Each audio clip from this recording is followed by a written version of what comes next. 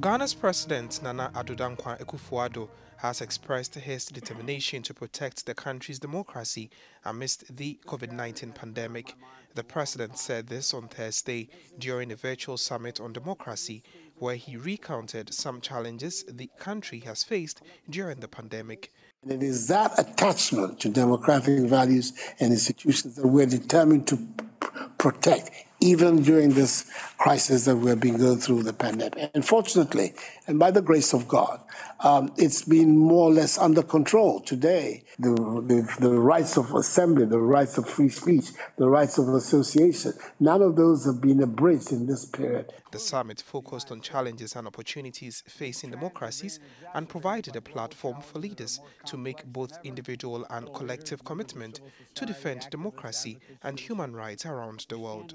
A second summit is expected in 2022 to take stock of the progress made.